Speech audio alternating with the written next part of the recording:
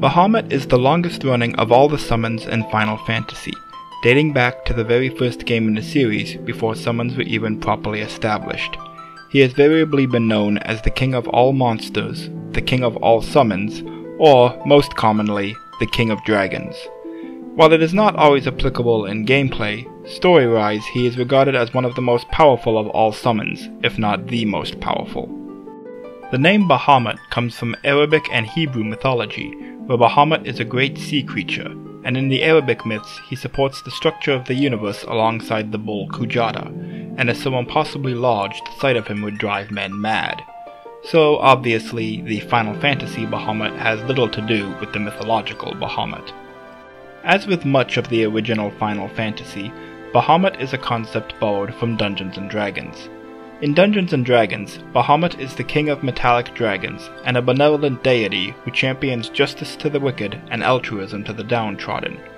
Bahamut is described as a great platinum dragon whose scales glow blue, and he has glowing blue eyes.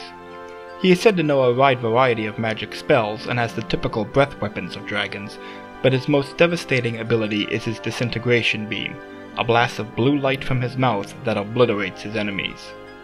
From the D&D Bahamut, the Final Fantasy Bahamut takes his basic appearance as a dragon, usually in various shades of grey, silver, and blue, and sometimes incorporating purple or indigo as well.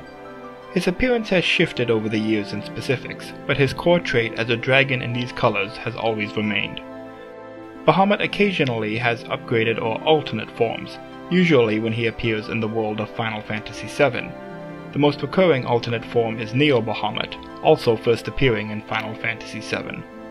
Bahamut's signature attack is Mega Flare.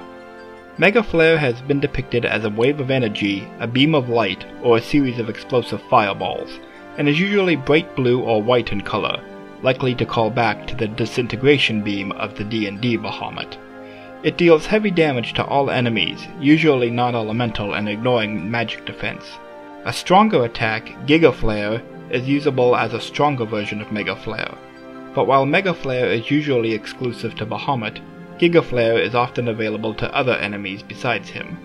There is also a third, even more powerful version called Terra Flare.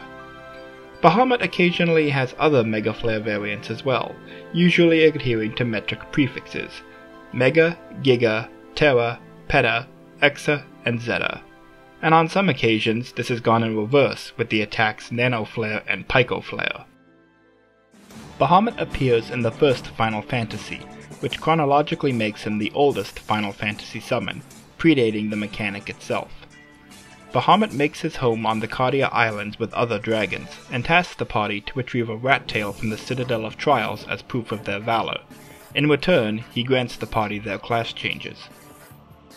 Of note in relation to Bahamut is one of the four fiends, Tiamat the Fiend of Wind. In Dungeons & Dragons, Bahamut's sister Tiamat is his arch-enemy, the queen of chromatic dragons with multiple heads. In Final Fantasy III, Bahamut makes his nest on Dragon's Peak, north of the village of Canaan. The Warriors of Light come to the mountain to find a man named Desh, and as they approach the mountain, Bahamut abducts them and takes them to his nest where Desh is also being held. Bahamut attacks them at this point, but cannot be defeated and the player must flee from him, and the Warriors of Light escape by leaping off the nest. Later in the game, the player can return to encounter Bahamut at his lair and defeat him in battle to earn the right to summon him. Bahamut's summon attacks are Rend, which instantly kills an enemy, Aura, which grants haste to the party, and Mega Flare, which deals heavy damage to all enemies. In Final Fantasy IV, Bahamut is the god of Eidolons, making his home in the lair of the Father on the Red Moon. Once the player has been to the Feymarch and defeated Leviathan and Asura, Bahamut will allow the party to challenge him and grants Rydia the right to summon him if they prevail. The method to defeat Bahamut varies between the 2 and 3D versions of the game. In the 2D versions, Mega Flare is so terrifically powerful that the most practical way to survive it is to cast Reflect on the party to bounce it back at Bahamut but in the 3D versions Mega Flare ignores Reflect, but is much less powerful, and a direct hit can be survived with proper preparation. In the subterrane of the Red Moon, the player can face Dark Bahamut as an optional boss, and it drops the Ragnarok, Cecil's ultimate weapon in the non-GBA and PSP versions. In the GBA and PSP versions that feature the Lunar Ruins, Lunar Bahamut is the boss of Kain's Lunar Trial, initially appearing as his doppelganger, Dark Kain. Both Dark Bahamut and Lunar Bahamut fight similarly to the original, though Dark Bahamut mixes things up by regularly casting the normal Flare spell as well as Mega Flare. In the PSP exclusive Interlude chapter, the Rydia imposter summons Bahamut when fought at the end of the chapter, until the real Rydia arrives and uses the Mist Dragon to snap Bahamut to his senses. In Final Fantasy IV's sequel The After Years, the mysterious girl comes to the Red Moon in the Lunarian chapter and petrifies Bahamut, seizing control of him for her own purposes. She summons him against Cecil to defeat him, and can summon him against the party when fought in Baron Castle. When fought in the depths of the True Moon, the mysterious girl summons Bahamut at the start of the battle, and he will instantly use Mega Flare to KO the party if Rydia is not present. If the player was able to awaken Leviathan and Asura earlier in the dungeon, they will appear during the fight and bring Bahamut to his senses and he will return to Rydia. Otherwise, he must be killed and Rydia will lose the ability to summon him. In the 3D version of the game, Lunar Bahamut appears as an optional boss in the depths that drops the Ultima weapon. In Final Fantasy V, Bahamut awakens from a peninsula of land after the party retrieves their first ancient tablet from the Pyramid of Moore, and he can then be challenged at the summit of North Mountain. The sealed tome mentions Bahamut as a weapon used by the ancient peoples who sealed Enuo in the Rift, along with Leviathan, the Magic's Holy, Flare, and Meteor, and the twelve sealed weapons. In Final Fantasy VI, Bahamut's Magicite is won after defeating the boss Death's Gaze, who roams the skies in the world of Ruin and will attack the airship when approached. It is unknown how Bahamut was killed or how his Magicite ended up with Death Gaze. Slot's ability can also summon Bahamut by lining up three dragon symbols. In the world of Final Fantasy VII, Bahamut has four alternate forms, referred to as Bahamut strains by Professor Hojo in Crisis Core. The base Bahamut is acquired as a materia after defeating the Red Dragon in the Temple of the Ancients, and the Neo Bahamut materia is found in the Whirlwind Maze, if the player finds both of these materia, Bahamut Zero can be acquired by inspecting the blue huge materia in Cosmo Canyon, or dug up from Bone Village. Regardless of how it is found, the player must have both Bahamut and Neo Bahamut to get Bahamut Zero. While Bahamut attacks with Mega Flare, Neo Bahamut uses Giga Flare, and Bahamut Zero uses Terra Flare. Also note that the Japanese name of Bahamut Zero is actually Bahamut Type Zero, which is relevant to a much later game. In Crisis Core, Zack faces Bahamut in Banora and Bahamut Fury in Midgar when they are summoned by Genesis. Zack can face recreations of the two Bahamuts in the Hojo's lab missions, and then again in the Zack the Materia Hunter missions, where defeating him earns them their materia and adds them to the DMW. Bahamut Sin is an incarnation of Bahamut featured in the film Advent Children, and is summoned by Kadaj to attack the city of Edge. Continuing the naming scheme established by Bahamut Zero's Terra Flare, Bahamut Fury's attack is Exaflare.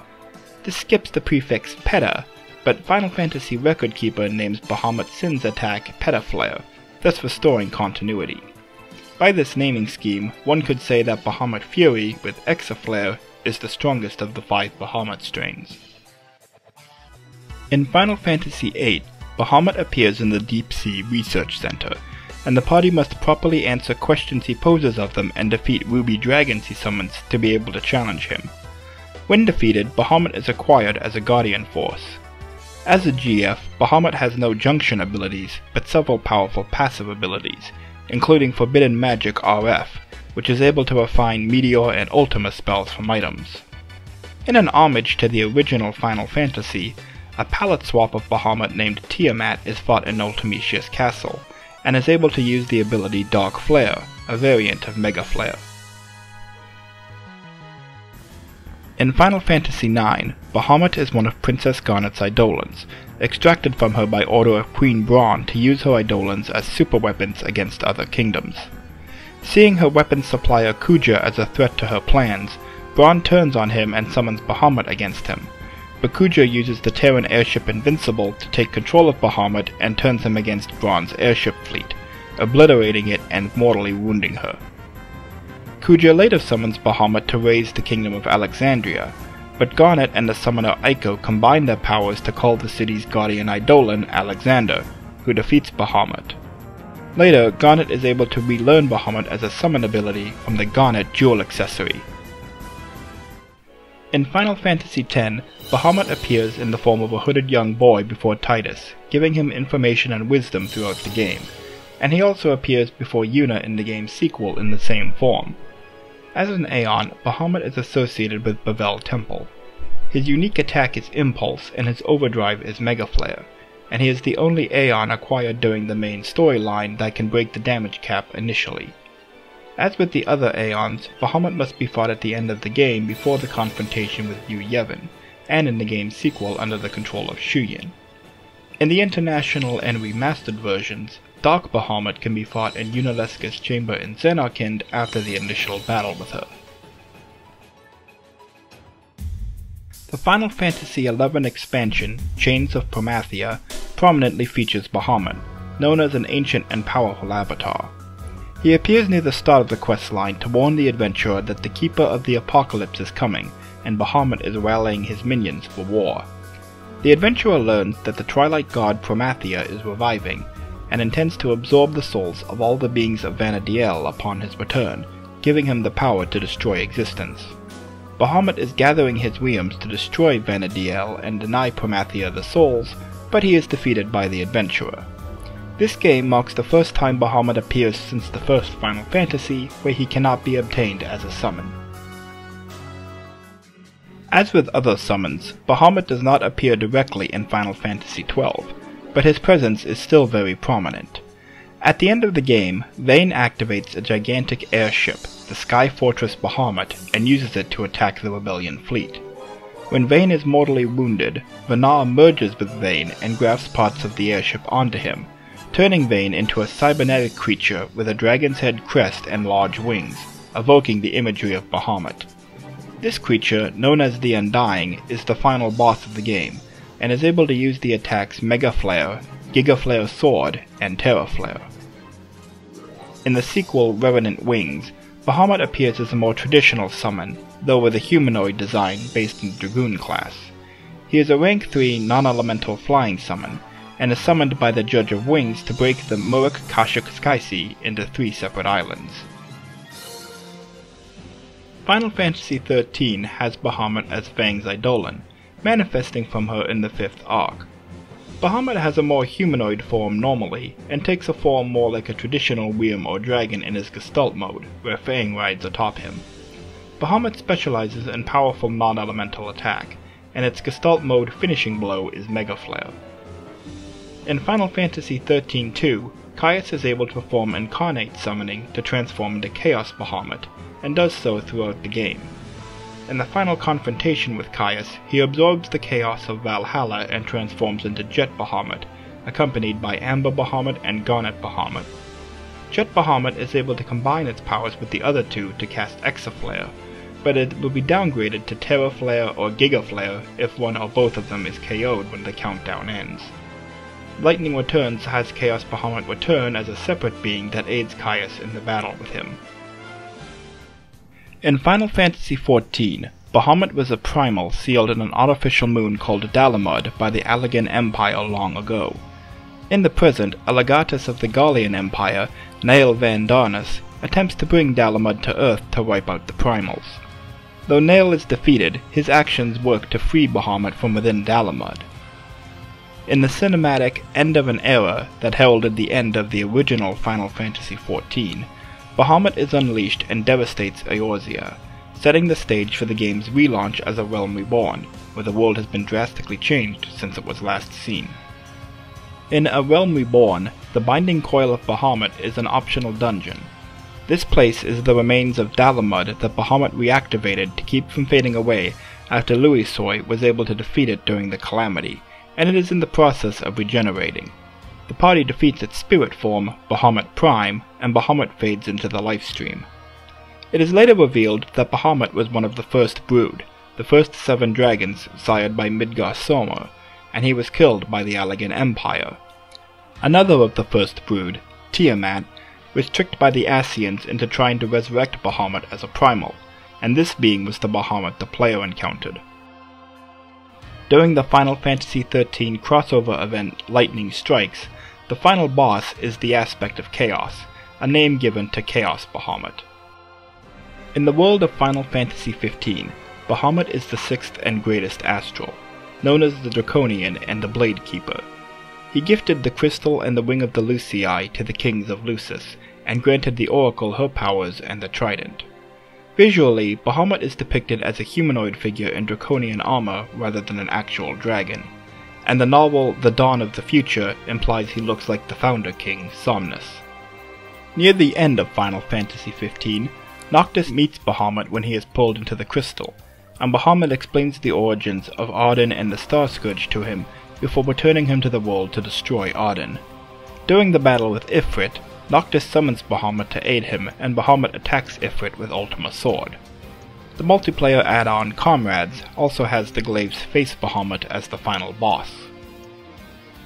The DLC episode Ardyn ends with Bahamut telling Ardyn his destiny is to face Noctis as the true king and be destroyed by him. Canonically, Ardyn submits to his destiny, However, the novel Dawn of the Future, based on cut plans for three more DLC packs, are an alternate version of events where Ardyn rejects his destiny. In this alternate timeline, Ardyn becomes too powerful for Noctis to defeat, and the Star Scourge cannot be cleansed from Eos, so Bahamut decides to destroy the planet with his ultimate power, Terra Flare, and start over. Through the combined efforts of the other Astrals, along with Noctis, Ardyn, and a resurrected Lunafreya, Bahamut is destroyed and the crystal absorbs the Star Scourge from Eos before shattering. In Final Fantasy Type 0, Bahamut is based on its Crisis Core design, and even seems to reuse its model and concept art, though modified to fit the general mechanical aesthetics of Type 0's Eidolons. Bahamut and the upgraded Neo Bahamut are only obtainable during a second playthrough of the game, and are able to use Mega Flare and Giga Flare respectively. During the Battle of Judeca, Class Zero faces the l'Cie Celestia, who transforms into the dragon Shinryu Celestia and destroys them. But then, Class Zero's benefactor Arecia summons Bahamut Type Zero against Shinryu Celestia, and players fight Shinryu as Bahamut until its ultimate attack Terra Flare can be charged safely. In this game, Terra Flare has Bahamut Zero summon dozens of regular Bahamuts and they bombard the target with Mega Flares, dealing so much damage to Shinryu Celestia that it continues to display even as the enemy dragon collapses and falls out of sight. Bahamut has appeared in many other spin-off titles, but usually doesn't have a critical role in the story. He appears as a summon in Final Fantasy Tactics, Four Heroes of Light, Dimensions, Dissidia NT, Theatrhythm, Brave Exvius, and World of Final Fantasy. Final Fantasy Record Keeper pits players against Neo Bahamut as a nightmare boss, and Theatrhythm has Bahamut Sin as a boss. The spin-off series Kingdom Hearts has a dummied summon command for Bahamut, but unfortunately this seems to have been cut early in development, as no actual assets for Bahamut exist in the game and the command doesn't work. Thank you to everyone for watching, and thank you to all the content creators on YouTube from whom I have used gameplay footage. All credit to them for this footage. Please like, share, and subscribe. Try to raise the word. I'd love to get the view count up for this video. If you haven't previously watched my Odin video, you can go check that out. And let me know in the comments what creature or summon from Final Fantasy you'd like me to document next.